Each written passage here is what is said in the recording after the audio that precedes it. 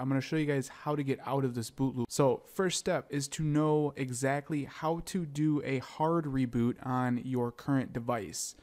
Now they're different for different devices like the iPhone uh, 7 and 7 Plus is the power button and volume down button. You hold those simultaneously together and that will cause a hard reboot. Uh, any device older than iPhone 7 is going to be the the side button and the home button. You hold those two together, and then iPhone 10 and up, like my 10s Max, or iPhone 8 and up, sorry, is volume up, volume down, and then hold the side button. Uh, so that's what we're going to do. We're going to wait for the Apple logo to show up to do it. So we'll just wait here a second. Volume up, volume down, hold the side button, and you guys will see the screen. The screen should flash.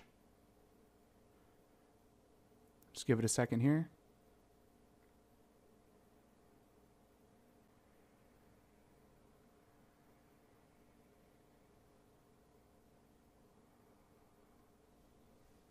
So I hope this video was helpful for some of you uh, that might have gotten stuck in this boot loop and can't figure out what to do. As you can see, the Apple logo is staying solid here. It is actually booting up, and there we go. We are out of the boot